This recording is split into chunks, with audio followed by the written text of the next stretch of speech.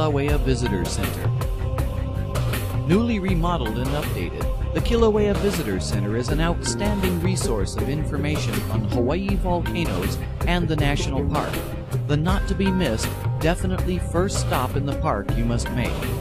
The center is run by enthusiastic and knowledgeable staff that has the most up to date information on viewing the eruption, hiking and camping, bird watching, stargazing, and just about any other topic of interest to park visitors.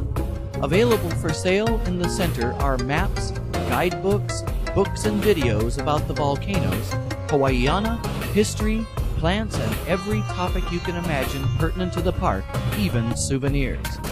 There are free brochures and pamphlets on various trails, attractions, hiking safety, and lava viewing hazards and precautions. Starting at 9 a.m. and showing every hour on the hour is a 20 minute informative movie about the park.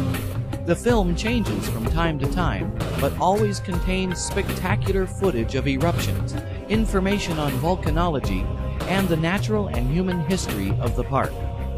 The visitor center is open daily from 7:45 a.m. to 5 p.m. There are public restrooms, water, and payphones available.